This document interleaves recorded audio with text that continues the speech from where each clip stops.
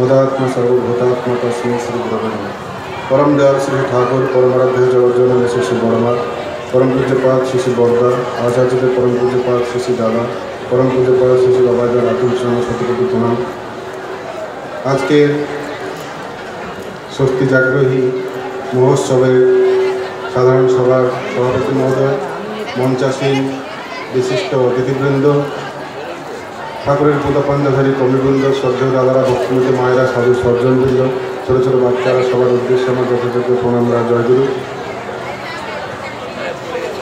আজকে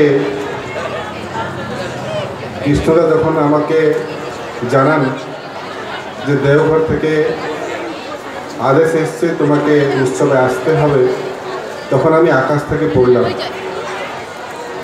কালকে আমি ছিলাম শিলিগুড়িতে। আজকে দুর্গাপুরে আমাদের ধৃতি সর্জনী উৎসব তৃতীয় বর্ষের একটা মিটিং রেখেছি। তিনি বললেন, সব সমস্যার সমাধান জানিস ইষ্ট প্রতিষ্ঠান। তো দাদা যখন বলেছেন, সেটাও তোমাকে করতে হবে। আমি মিটিং সকালবেলা এসে পৌঁছালাম। তারপরে একটা আমার সাথে এসে অরিজিৎ ভাই বলল, দাদা, একটা দীক্ষা দিতে হবে। স্নান করে একটা ঠাকুরের দীক্ষা ছিল, দীক্ষা দিলাম। সাড়ে দশটায় মিটিং অ্যাটেন্ড করলাম। সাড়ে বারোটায় মিটিং শেষ করে আমরা এখানে চলে এসেছি প্রায়। আবার এনআরসিও আমাকে ধরলো রাস্তায় ডাঙ্কুনিতে এক ঘণ্টা দাঁড় করিয়ে রাখল। তারপরেও এসে আমি ঠাকুরের কাছে আপনাদের গ্রহণে উপস্থিত হলাম। খুব সুন্দর পরিবেশ। এত সুন্দর লাগছে, দেখেই মনটা ভরে গেছে। এই রকম উৎসবে না এলে মানুষের সেই মন ভরে না, মানুষের জীবনের উত্থান হয় না। আমাকে একটা বিষয় দেওয়া হয়েছে। বিষয়টি আমি দেখার সুযোগ পাইনি, এখন দেখছি। ইষ্টনিষ্ঠ, মুগ্ধ উদ্যান মন, অসুখ বিসুখের ধারি ধারে কম। তো আমরা ইষ্টনিষ্ঠ কথা বলা আছে এখানে উদ্যমের কথা বলা আছে। তো আমরা যদি ইষ্টনিষ্ঠ উদ্যম হয়ে চলি, তাহলে আমার এই মনটা অসুখ বিসুখ আর হবে না। তার মানে আপনার অসুখ বিসুখ হবে না, আপনাকে আর আমাদের কাছে আসতে হবে না। মানে ডাক্তারের কোনো প্রয়োজন হবে না। ঠাকুর এটা বলতে চাইছেন। আমি ছোটবেলা থেকে একটা ছবি দেখতাম। ঘরের সামনে লাগ- লাগানো আছে। আপনারা সবাই দেখেছেন হয়তো। যে শিব শুয়ে আছেন, তার বুকের উপরে পা দিয়ে কালী, মা কালী এত এক হাত লম্বা জিভা বের করে দাঁড়িয়ে আছেন। মানে আমরা শ্যামা শিব শিব কালী বলতে পারি ওটাকে পিকচারটাকে তার অর্থ কি হতে পারে সেদিন থেকে আমার মাথায় ঘুরছিল যে কি এর ছবির মানেটা কি? হঠাৎ আলোচনা প্রসঙ্গ পড়ছিলাম। একদিন ঠাকুর বলছেন, কালী হচ্ছে নেগেশন অফ অল কালার্স, সমস্ত রঙের বিলুপ্তি। আর শিব হচ্ছে সাদা। কম্বিনেশন অফ অল কালার্স সমস্ত রঙের সমাবেশ। মানে আমরা নেগেটিভ আসপেক্ট অফ এক্সিস্টেন্স যদি আমাদের থাকে, আমাদেরকে বাঁচতে দেবে না। তাহলে আমরা বাঁচবো কী করে? ঠাকুর বলছেন, কম্পন। প্রথম যে মানুষ সৃষ্টি হয়েছে, জীব জগৎ সৃষ্টি হয়েছে, কম্পন থেকে সৃষ্টি হয়েছে। আর এই কম্পন, এই ভাইব্রেশন এই ভাইব্রেশন যখন ইচ্ছা হলো, আলোর স্ফুরণ হোক, তারপরে আলো হলো।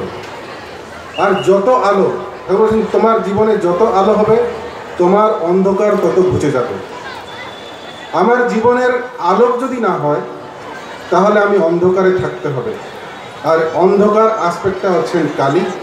শিব হচ্ছেন সেই আলোর প্রতীক প্রতিমূর্তি।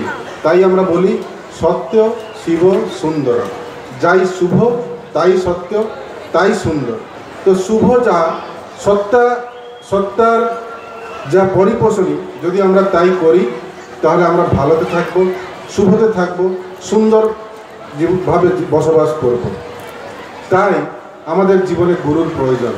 আমরা গুরু খুঁজি, ভগবানকে খোঁজ করি, কিন্তু তিনি কি, কেমন, কোথায় পাওয়া যায়, কেউ কিচ্ছু জানে না। কিন্তু আমরা খোঁজ করি। তাহলে আমি পাবো কোথায়? এই পাওয়ার জন্য জীবনে গুরুর প্রয়োজন। এমন একজন মানুষ, তার সমস্ত জীবন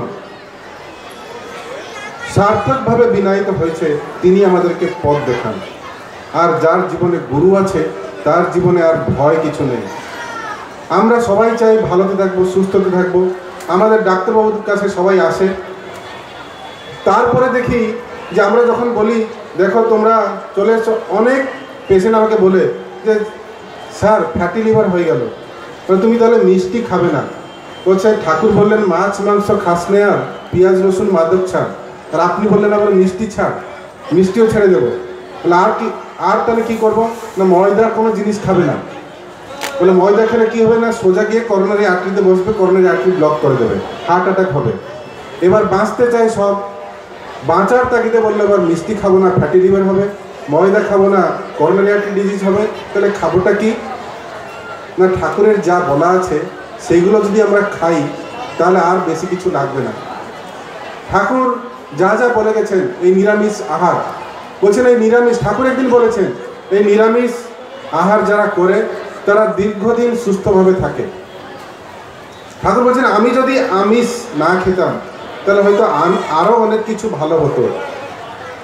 আর রামকৃষ্ণ ঠাকুর ঠাকুর বলছেন, রামকৃষ্ণ ঠাকুর যদি নিরামিষ খেতেন তাহলে আরও অনেক দিন থাকতেন আর শেষে এই ক্যান্সারে গলার ক্যান্সারে যে মারা গেলেন, হয়তো সেটা হতো না। তো আমরা সব, সবাই বুঝি, কিন্তু তিনি তাকে আচরণ করে দেখালেন। আবার বললেন, যারা আমিষ খায়, তারা হয়তো বুঝতে পারছে না তারা তার শরীরের কি অনিষ্ট করছে। কেন? না, আমরা কালো যখন কাপড় পরতে থাকি, তার উপরে যে কোনো কালার পড়ে যায়, আমরা বুঝতে পারি না। সাদা কাপড় যখন পরি এক ছিটো যদি কিছু কালো দাগ লাগে বা যে কোনো কালার লাগে, আমরা বুঝতে পারি কিছু একটা লেগেছে। যদি আমরা শরীরটাকে শুদ্ধ করি, তাহলে যদি আবার আমিষ খাই, ঠাকুর বলছেন চৌদ্দ দিন তার এফেক্ট থাকে। চৌদ্দ দিন। তাহলে আমরা আমিষ খেয়ে আমার কি অন্যায়, কি মানে ক্ষতি করছি শরীরের সেটা আমরা নিজেও বুঝতে পারছি না। অনেকে আমাকে বলে যে, তুমি একটা ডাক্তার হয় কি করে বলতে পারছ? আমিষ খেলে খারাপ। আমি বলছি, ঠিক তো। ডাক্তার হয়েছি আমিষ খেলে আমরা কেননা বেস্ট প্রোটিন অ্যানিমাল প্রোটিন হচ্ছে বেস্ট সোর্স অফ প্রোটিন আমরা প্রোটিন খেলে আমার শরীরের সেল ডিভিশন হয়, আমরা খুব বৃদ্ধি পাই, আমার শরীর আরও বেড়ে যায়। ঠাকুর বলছেন, তোমার বার্ধক্যও তাড়াতাড়ি আসে মানে যে শরীর আমার চল্লিশ বছর হওয়ার কথা, সেটা তিরিশ বছর আমার হয়ে গেল। ঠাকুর বলছেন আমার বার্ধক্য যদি আশি বছর আসার কথা, সেটা ষাট বছরে চলে আসবে। আমিষ খেলে এটা হয়। তো আমরা আমিষ খেয়ে আমার বার্ধক্যকে আবাহন করছি। মানুষ তো জন্মেছে মরবে একদিন। কিন্তু মরার আগে আমার ব্লাড প্রেশার ডায়াবেটিস আমার সমস্ত কিছু থাইরয়েড সমস্ত কিছু আমাদের বেরিয়ে যাচ্ছে।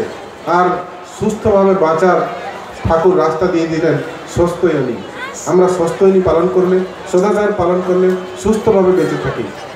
কিন্তু আমরা সেটা সেই বিশ্বাসটা করতে পারি না। বহুদিন আগে পরম পুজোপাল বাবাইদার কাছ থেকে একটা কথা শুনেছিলাম। বলছেন, আমার ভাই, ছোট ভাই, সিপাই বন্ধু, তার বাবা ক্যান্সার ধরা পড়ে। ক্যান্সার যখন ধরা পড়ে, সে এবার দীক্ষিত, তো তারা সব জায়গায় যখন জবাব দিয়ে দিয়েছে, আর বাঁচবে না, তখন দৌড়ে এসছে এবার দেওঘরে। তখন শ্রী শ্রী পিতুদেব, শ্রী শ্রী বড়দাই ছিলেন। আচার্যদেব শ্রী দাদার কাছে গিয়ে যখন বলা হয়েছে, তখন শ্রী শ্রী দাদা, তখনকার আচার্যদেব শ্রী পিতুদেব কাছে নিয়ে গেছেন। শ্রী বড়দা তাকে কবল আর কয়েকটা মেডিসিন দিলেন, বলছে, এই ওষুধটা খাও। সে যাওয়ার আগে তাকে বলা হয়েছে, তুমি কি বড়দাকে বিশ্বাস করো? বলছেন, একদম। অন্তর দিয়ে আমি তাকে ভালোবাসি, তার কথাই আমার পথর কি লকি তো তারপরে সে বড়দার ওষুধ খেয়ে কিছুদিন মধ্যে সে আবার সুস্থ হয়ে গেছে। এই হচ্ছে তার দয়া। আমরা কিন্তু ঠাকুরকে সেই বিশ্বাসটা আমরা করতে পারি না। আমি আমার জীবনে দেখেছি যারা যারা বিশ্বাস করেছে, তারা খুব সহজে পেরিয়ে গেছে। কিছুদিন আগে মেডিকেল কনফারেন্স হলো আমাদের দেওঘরে। সেখানে এসেছিলেন কলকাতার বিশিষ্ট doctor neurosurgeon doctor Sandeep Chatterjee. তিনি এসে বাবাইদের কাছে অনেক আলোচনা করার পর বলছেন, দাদা, আপনি কেন আমাকে পেশেন্ট পাঠান আমি জানি না, আমি তো ঠাকুরের দীক্ষিত নয় তবে একটা কথা, আপনি যে পেশেন্টগুলো পাঠান, যে ক্রিটিক্যাল মানে তারা ভেলোর, তারা নিমান্স, ব্যাঙ্গালোর, সব জায়গায় ঘুরে ঘুরে যখন না হয় আপনার কাছে আসে, আর আপনি আমার কাছে পাঠিয়ে দেন। জানি না কেন, সোসাইটি থেকে, তথাকথিত সমাজ থেকে যারা দীক্ষা নেয়নি ঠাকুর অনুকূল চন্দ্রের, তাদেরকে ডিল করতে সেই ধরনের রোগী, একই ধরনের রোগ আমার খুব কষ্ট হয় সেই পেশেন্ট পার্টিগুলোকে সামলাতে, আর তার আউটকাম দেখছি অপারেশন করে আউটকামও ভালো পায় না। কিন্তু আপনার কাছ থেকে যে পেশেন্টগুলো গেছে, একটাও পেশেন্ট মারা যায় না। আর সেই পেশেন্টগুলো আগে থেকেই আগে থেকেই তারা মানে আমাকে ইয়ে করে নিয়ে, যে আপনি যা করবেন সেটাই ভালো। আমি বললাম, স্যার, আমারও একই ঘটনা। আমার কাছেও আজ অবধি যে পেশেন্টগুলো আচারদের শ্রী দাদা, বাবাইদার আশীর্বাদ নিয়ে এসেছে, একটা পেশেন্ট এখন অবধি ক্যাজুয়ালিটি হয়নি। অথচ তারা খুব ক্রিটিক্যাল ক্রিটিক্যাল পেশেন্ট সব। একটা ঘটনা বলছি। আমি তখন বাংলাদেশের একটা পেশেন্ট দেওঘরে গেছে। দেওঘরে গিয়ে পুজোনা বিঙ্কি তাকে বলেছে যে, আমার বাচ্চার এরকম হার্টের ক্রিটিক্যাল সমস্যা। সে একটা মন্দিরের আমাদের এই যে পানিহাটি মন্দির আছে বলে এখানে একটা পুজোক আছে, সে একটা মন্দিরের পুজো সে তারপরে আচার্যদেবের কাছে নিবেদন করা হয়েছে। আচার্যদেব বললেন, যা হেমন্তের কাছে পাঠিয়ে দেন আমার কাছে পেশেন্ট চলে এলো। আমরা দেখলাম পরীক্ষা নিরীক্ষা করে খুবই জটিল সমস্যা হার্টের মানে কি আর বলব, আপনাকে এখানে হার্টের সমস্যাটা বলছি না। এইটুকু জেনে রাখুন, খুব জটিল সমস্যা। অপারেশন তখনই না করলে মরে যাবে। আমি বললাম, অপারেশন তো করব, কিন্তু দু লাখ টাকা লাগবে। বলছে, দাদা, আমি মন্দিরের পুজো গুরু ভাইদেরকে বললাম, এক লাখ টাকা তারা দিয়েছে। কি করব এবার? আমার বাচ্চাটা কি মরে যাবে? আমি আমার চেয়ারম্যানকে গিয়ে বললাম, স্যার, আচারদেব একটা বাচ্চা পাঠিয়েছেন। খুব জটিল সমস্যা। গুরু ভাইরা এক লাখ টাকা সংগ্রহ করে দিয়েছে। এই টাকার কিন্তু দাম আছে। এই টাকা যদি আপনার হসপিটালে ঢোকে, আর এই এক লাখ টাকা আপনার এক কোটি টাকা করবে কিন্তু। বলেন তাই? বলে হ্যাঁ আপনি অপারেশন করুন। তো অপারেশন এক লাখ টাকা দিয়ে আমরা অপারেশন করে দিলাম। অপারেশন হয়ে গেল, পাঁচ দিনতে বাচ্চাকে ছুটি করে দিলাম। আমার খুব মনে আনন্দ, যাই হোক, একটা বাচ্চা বেঁচে গেল। তারপর আমার দুবাই থেকে একটা কনফারেন্স আছে, আমি যাব এবার। ও যখন বাচ্চাটি বললাম, তুমি বাংলাদেশ যাওয়ার আগে আমাকে একটু চেক আপ করে যাবে আমার ফ্লাইট টাইম হয়ে যাচ্ছে, ও এসে পৌঁছালো। আমি যখন আবার পরীক্ষা করে দেখছি, হাটের চতুর্দিকে জল জমে গেছে। দু হাজার সতেরো সালের একটা ঘটনা। তো বলে, সর্বনাশ কী হলো? আবার তো অপারেশন করতে হবে। পাঁচ পঞ্চাশ হাজার টাকা মিনিমাম আবার লাগবে। কি করবে এবার? বলছে, পয়সা আছে। বলল, না দাদা, আমার কাছে পয়সা কই? তাহলে আমি ওষুধপত্র কিছু দিলাম। আমি বললাম, আমি আমার কলিগকে বললাম, আমি যাচ্ছি, যদি ও পয়সা না দিতে পারে, এটাকে ভর্তি করে অপারেশন করে দেবে, আমার অ্যাকাউন্ট থেকে কেটে দিতে বলবে। বলে আমি ওষুধ দিয়ে চলে গেলাম। তারপরে এই যে যাওয়ার আগে সে আমাকে পাঁচ হাজার টাকা বের করে দিচ্ছে। মানে এটা কি? বলছে, দাদা, যেদিন আমার বাড়ি, আমার বাচ্চার অপারেশন হবে, আমি মন্দিরে গেছিলাম। সেখানে লেখা আছে, ব্যানার লেখা আছে দ্বিতীয় সর্জনী মহোৎসব হবে আচার্যদেবের দয়াতে আশীর্বাদে। আর সেদিন থেকে আমি পাঁচ হাজার টাকা আগে থেকে বের করে রেখেছি, আর আমি আলু সিদ্ধ ভাত খেয়ে আছি এখানে। এই পাঁচ হাজার টাকায় অর্ঘটা আপনি দয়া করে নেন। না হলে আমি আমি কিছু ধর পঞ্চাশ হাজার টাকা তোমার লাগবে।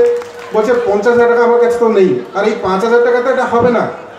যে আপনি দয়া করে এই পাঁচ হাজার টাকা ঠাকুরের জন্য রাখুন। মানে তার ভক্তি নিষ্ঠা দেখে আমার ইচ্ছা হলো সেই অপরিতে তাকে একটা প্রণাম করি যে একটা গরিব মানুষ, সে এতটা ঠাকুরকে ভালোবাসে না, আমিও ঠাকুরকে এতটা ভালোবাসি না। তাকে দেখে আমার সেই ভক্তি উদ্রেক হলো। সে যাই হোক, তারপর আমি চলে গেলাম। দুদিন পরে ভয়ে আমার সেই কলিগকে হোয়াটসঅ্যাপে মেসেজ করলাম, ওই বাংলাদেশি ছেলেটি এসেছিল, ওটা কি অপারেশন হলো? বলছে, না স্যার অপারেশন কি করব? আজকে এসেছিল ইকো দেখলাম, পুরো জল শুকিয়ে গেছে ছুটি করে দিলাম, বাংলাদেশ চলে গেছে। এই হচ্ছে ঠাকুরের দয়া। কিন্তু ঠাকুর অনু পর্যন্ত যা করতে পারেন, আমাদের কারুর সাধ্য নেই, কোনো ডাক্তারের সাধ্য নেই, তার গায়ে মানে তার কাছে যেতে পারব আমরা। আর একটা ঘটনা বলছি, কালকের ঘটনা। আমরা সেই পরশু দিনের ঘটনা, বাচ্চাটিকে আমি ছুটি করে তারপর আমি শিলং গেলাম, এই শিলিগুড়ি গেলাম। সেই বাচ্চাটি দীক্ষা, তার পরিবারে কেউ দীক্ষা নেয়নি। সোনামুখী তার বাড়ি। সে কলকাতার হেন কোনো হাসপাতালে যে সে কাকে দেখায়নি। দিল্লিতে গেছে, ব্যাঙ্গালোরে গেছে, ভারতবর্ষে বিভিন্ন জায়গায় দেখার পর বলছে, এই ভারতে হবে না। ও বিদেশে এবার রিপোর্টগুলো হোয়াটসঅ্যাপ করেছে মেল করেছে। সেখান থেকে রিপ্লাই এসছে, বাচ্চাটি অপারেশন করলে মরে যাবে বা অপারেশনটা আমরা পুরো করতে পারব না। দু তিনটে স্টেজে অপারেশন করব, নানান প্রকার রিপ্লাই এসেছে। গ্রামে ফিরে এসছে, ছোট বাচ্চাটি পনেরো মাসের শিশু। হয়তো আপনি কিছুদিন পরে খবর কাগজে বা কোথায় নিউজ চ্যানেলে দেখতে পাবেন। এই যে তারা যা ইন্টারভিউ তারা দিল পরশু দিনের ঘটনা। তারপরে তার গ্রামে একজন তার কাকার মানে তার এই বাচ্চাটির দাদুর ভাই হিসাব হবে। কাকার ছেলে। সে দীক্ষিত। বলছে, দাদা, তুমি তো সব দিকে ঘুরে এলে, তোমাকে একটা সাজেশন দেবো? বলে হ্যাঁ কি বলো? না, তুমি দুর্গাপুর চলে যাও। আমাদের ঠাকুরের একজন ঋত্বিক আছে খুব হাটের ভালো ডাক্তার। ওর কাছে চলে যাও, সে করে দেবে অপারেশন আমার কাছে যখন এসে পৌঁছেছে, তখন আমি বললাম, এ কি, এত এত মোটার একটা কাগজ ফাইলপত্র নিয়ে এসে পৌঁছালো। বলে, আপনি কি করেন? বলছে, আমি লয়ার বলে, আপনার ছেলে বাবা সেও পাবলিক প্রসিকিউটর লয়ার আমি বললাম, একটু আমাকে ক্ষমা করুন, আর এখনকার যা দিনকাল তার ডাক্তার উপরে যা অত্যাচার, আপনারা আবার বলছেন উকিল, আর উকিলের বাচ্চাকে অপারেশন করব, আবার আমাকে পুলিশে ঢুকাবেন। আর সারা বিশ্ব আপনাকে সবাই না করে দিয়েছে, আপনি আমার কাছে এলেন কেন? বলছে, আমাদের দ্বারে, আমাদের জন্য সমস্ত হাসপাতালের দ্বার বন্ধ হয়ে গেছে। বহু আশা করে আমরা আপনার কাছে এসেছি। শুনলাম আপনি নাকি ঠাকুরের ঋত্বিক। আপনি অনেক এইরকম অসুখ বিসুখ ঠিক করেছেন। দয়া করে আমার বাচ্চাটাকে বাঁচান। আমি বললাম, দাঁড়ান, আমি একটু মেডিকেল বোর্ড ডাকি। মেডিকেল বোর্ডে আমরা আলোচনা করলাম। তারপর সবাইকে আমি বোঝালাম, এই বাচ্চাটির অপারেশন করতে হবে। তারা আমার দিকে তাকালো, বড় বড় চোখ করে, বলে অপারেশন আমরা করব এই বাচ্চাটি। আমরা চ্যালেঞ্জ নিয়ে করব। তারপরে যথারীতি বাচ্চাটি দু তিন দিন পর আমরা অপারেশন করলাম। অপারেশন হয়ে গেল। বাচ্চাটির আবার পলিসপ্লিনিয়া হেটেরোট্যাক্সি সিন্ড্রোম হার্টের সমস্ত আছে, তারপরে আবার এগুলো সব উপরে। মানে পলিসপ্লিনিয়া মানে তার স্প্লিন নেই সেরকম। ছোট ছোট অনেকগুলো স্প্লিন রোগ প্রতিরোধক শক্তি নেই। অপারেশন করার পর ভেন্টিলেশনে থাকবে ইনফেকশন হবে নিউমোনিয়া হবে, সে বেরোবে না, অনেক কিছু সমস্যা। তার অপারেশন হয়ে গেল। হনুমানের মতন বুক কাটা আবার, সে তার অপারেশনটাকে আমরা ফাইনাল অপারেশন করতে পারছি না। কি হবে? এবার সোনামুখীতে কিন্তু সেই যে অদীক্ষিত মানুষটির জন্য অগণিত সৎসঙ্গী অগণিত সৎসঙ্গী কিন্তু তার জন্য প্রার্থনা করছে, তার জন্য নাম করছে, সৎসঙ্গে সেই বাচ্চাটির জন্য সবাই মিলে ধ্যান করছে, যে এই বাচ্চাটি যেন সুস্থ হয়ে যায়। হাজার হাজার সৎসঙ্গী তার জন্য প্রার্থনা করছে একটা অদীক্ষিত বাচ্চার জন্য। সেই ফোনগুলো যেমন আমার কাছে আসে, দেখছি বাচ্চাটি এখন ডিটোরিয়েট করছে ব্লাড প্রেশার কিছুতেই উঠছে না। আমরা অনেক কিছু ওষুধ দিচ্ছি, উঠছে না। তখন আমার মনে পড়ল, সেই পুজোর বাবাইদার কথা। বলছেন, আমি কারোর জন্য, ঠাকুরের কথা আছে, কারোর জন্য কিছু না চাওয়া নিষ্কাম নয়। যদি অপরের জন্য প্রার্থনা করাই নিষ্কাম প্রার্থনা, যার সাথে আমার কোনো সম্পর্ক নেই, আমার পাড়া প্রতিবেশী, তাদের উন্নতি হলে আমার কোনো যায় আসে নেই। তার জন্য আমি প্রার্থনা করব ঠাকুরের কাছে। ঠাকুর বলছেন, অপরের মঙ্গল কামনাই নিজে মঙ্গলের প্রসূতি। অন্যকে যত করবি বড়, ততই বড় হবি রে তুই। বড় হওয়ার একটি পথ, একটি ছাড়া নয় তো দুই। তো সেই কথা আমাকে মনে পড়ে গেল। তাহলে এত অগণিত যখন ঠাকুরের কাছে প্রার্থনা করছে, নিশ্চয়ই বাচ্চাটি বাঁচবে। তারপরে পনেরো দিনের মাথায় সেই বাচ্চাটি যখন ছুটি হলো, সেই বাচ্চার অভিভাবক বলছে, আমি যে আজকে মিশন হাসপাতালে এসেছি, এটা হচ্ছে ঠাকুর অনুকূল চন্দ্রের দয়া। তাকে বিশ্বাস করে তার অদীক্ষিত আমি, তার দীক্ষা নেয়নি, কিন্তু তারপরেও আমি এখানে এসেছি। সে ইন্টারভিউ দেওয়ার পর আমি সবাইকে বলব যে আপনারা সবাই মিশন হাসপাতালে আসুন। কিন্তু আমাদের পাশে যে সার্জন ডাক্তারবাবু বসেছিল, ও বলছে, আপনি তো যা এসেছেন এসেছেন, কিন্তু আমাদের হাসপাতালে একের পর একের যা ঘটনা ঘটে যাচ্ছে, মনে হয় না আমরা আর বেশি দিন থাকতে পারব। খুব তাড়াতাড়ি আমাদেরকেও সমস্ত সবাইকে ঠাকুর অনুকূলচন্দ্র দীক্ষিত হয়ে যেতে হবে। এই হচ্ছে সবার সবার এই হচ্ছে উক্তি যে আগামী দিন, এই দিন আর বেশি দিন নয় যে আমরা সবাই ঠাকুর অনুকূলচন্দ্রের শিষ্যত্ব গ্রহণ করব। তাহলে আমরা দুনিয়াকে সহি রাহা দেখাতে পারব, সবাইকে সৎ পথ দেখাতে পারব, সবাইকে বাঁচাতে পারব। আরও সময় আমি অতিক্রান্ত, আমি আরও বেশি সময় নিয়ে নিলাম মনে হচ্ছে। আরও অনেক বক্তারা রয়েছে, আপনার সবার ঠাকুরের কাছে সেই মঙ্গল প্রার্থনা করে আমার বক্তব্য সাঙ্গ করছি। জয় জয় গুরু।